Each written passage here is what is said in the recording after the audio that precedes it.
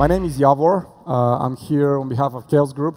Um, I wonder actually uh, how many of you know who Chaos Group are? Not many, not many, come on. Chaos Group are the makers uh, of V-Ray, and since last year, we're also the makers of Corona, uh, the two renderers that, that I'm sure a lot of you are familiar with. Um, I'm really excited to be here today because uh, we have a couple of great uh, pieces of news to share with you. Um, and uh, I can't wait to, to kind of open up the, the hood uh, and share with you what's been going on over the past months and, and, and year. First, I'd like to talk about V-Ray, but uh, for that, I would like to ask for some help from our good friend Fabio Palvarini, who I'm sure a lot of you know from uh, his work on, uh, on V-Ray. Fabio, come on up. Can you guys hear me? So I'm Italian. That is enough. I shouldn't use a microphone because otherwise I'm gonna damage your hearing. How are you guys? Come on, let's hear it. I hate when people fall asleep on me. All right, so for those of you who don't know me, my name is Fabio Palvarini. I'm one of the founders of the D2 conference in Vienna, which is the biggest conference for architecture visualization. I'm also a YouTuber. I make YouTube videos where I talk about the business side of doing 3D. And you should su subscribe because my wife said that she's gonna get pregnant when I hit 1 million subscribers. It's true. and I'm also a 3D artist. I've been doing visualizations for about 10 years. I worked with Cinema 4D and uh, V-Ray because I really think that this is probably one of the best uh, combinations, you know. Cinema it's a very easy to use tool and V-Ray with very little training allow me to visualize very complex, very big scenes uh, very easily. Anyway, the fate brought me to work for V-Ray for Cinema 4D in uh, Vienna. Now, developing software is a very complex task. But when we released V-Ray 3.4 and then 3.6, we started sort of like a small revolution in, uh, in the field of archviz. And we were very motivated to continue doing so. And to a certain point, to a certain extent, we realized that if we wanted to continue walking in that direction, you know, developing and supporting customers, we needed to ask the big guys to bring out the big guns. And I'm referring to the guys at Chaos Group. Well, we have been keeping a secret from you for quite a while. Iavor? All right, so thanks, Fabio. Uh, what we can help, uh, what we can wait to share with you is that as of today, V-Ray for Cinema 4D will be. Come on, come on, let's hear it, come on!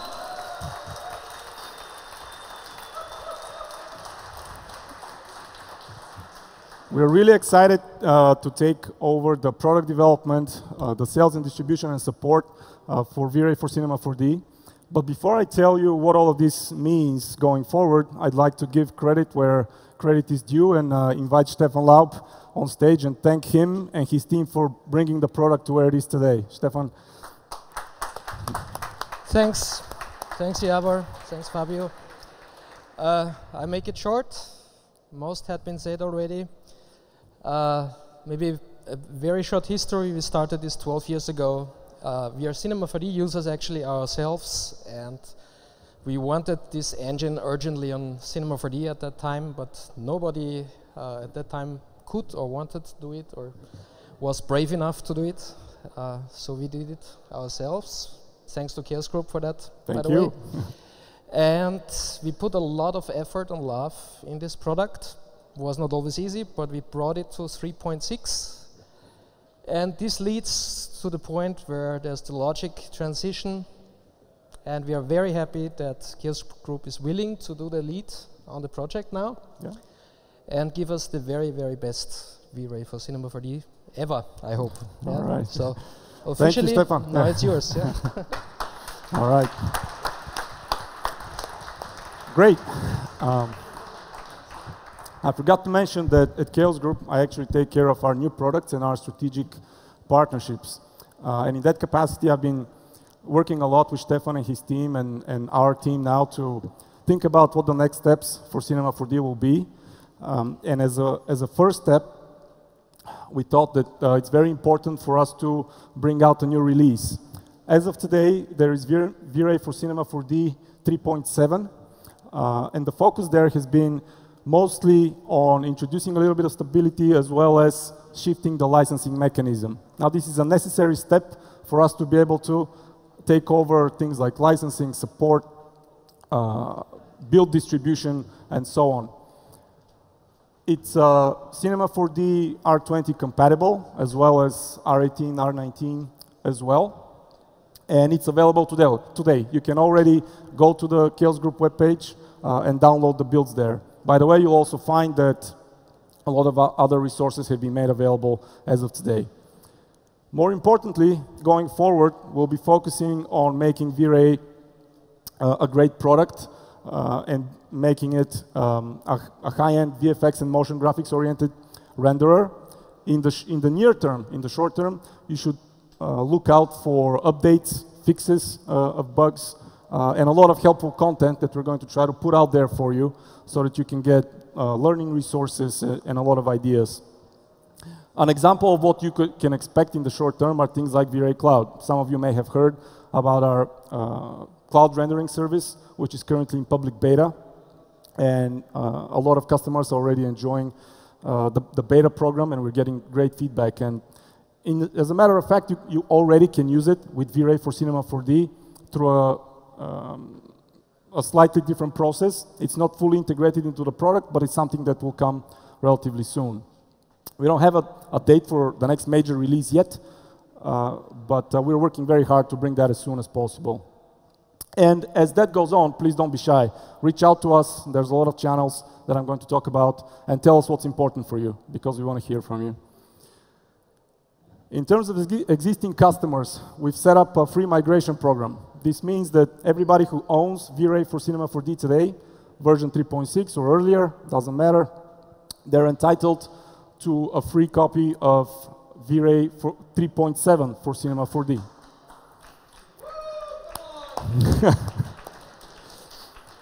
uh, all of your licenses will be matched one for one, both workstation and DR node licenses. Uh, specifically, DR node licenses will be matched with Cinema 4D uh, spe uh, specific rendering licenses. What this license will give you is all free updates for the next for the entire next year, for the duration of 2019 up to January 15, 2020. Uh, the program will be open until March 15th. So if you want to take advantage of it, do it now or before March 15, 2019, and we'll match all of your licenses with a, with a new version. All of the existing licenses that you own, obviously, will remain valid, uh, as, and they will work as they always have. In terms of pricing and licensing, we'll be making some changes as well. The product will, for new, this is for new purchases. Again, I want to underline the fact that the, uh, the migration program is free for a whole year. For new purchases, we will be offering the product on an annual and monthly basis at these price points. Uh, and a license will include a, a UI license and a render license. Those render licenses will be universal, so they will work across V-Ray products. And if you're someone who owns render nodes and you've purchased them from Chaos Group before, you'll be able to use them with V-Ray for Cinema 4D. In terms of maintenance and support, we will continue to support our customers with user-related questions, with uh, technical questions about how the product works, regardless of version. However, when it comes to bug reports, when it comes to updates or replacing licenses, those will be able to take care only in the context of 3.7 and beyond. And this is the version and the code base that we're going to have and, and develop going forward. So this is where we're going to address everything new. Uh, in terms of resources, there's a new official forum at chaosgroup.com. And for support, you can take advantage of the resources uh, at chaosgroup.com as well. There's a lot of uh, frequently asked questions. There's, you can reach out directly to our support through there. But of course, that's not everything. We're very excited about V-Ray, but there's something else that we're really excited to share today, and that's that today we make the release of Beta 2 for Corona for Cinema 4D. This renderer has been around uh, in beta mode for about a year, and we have had a, a lot of interest in it. We've seen more than 40,000 activations for it. The beta is available today for download, and its first commercial release is tracking well for January 2019. So you should go out and try it. There's a lot to be excited about when it comes to Corona. It's uh, very tightly integrated uh, with Cinema 4D. It has a highly interactive um, IPR mode, uh, which helps for, for using it uh, interactively and, and having more efficient workflows. It has a powerful material editor, and it comes with the popular light mix and image editor tools. It supports native C4D shaders and lights, and also has scene conversion directly from V-Ray, so there's some interoperability there for you. It also works with Team Render. Lots of great features uh, now available to, to you guys as well.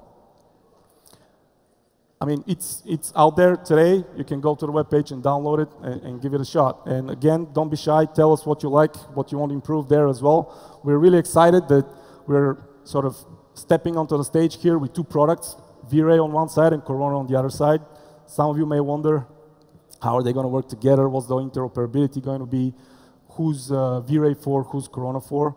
Uh, this is something that we continue to think about, of course, and we welcome your feedback. But as I said in the beginning, um, we'll continue to develop V-Ray as a high-end VFX motion graphics renderer and Corona as a easy-to-use design-oriented uh, renderer. So that's kind of what I wanted to share. I really want to thank uh, our friends at Maxon for having us here and giving us an opportunity to talk to you directly about this stuff. I think we have a little bit of time, so I am uh, available to take some questions if you have them now, or happy to speak with you later uh, as well.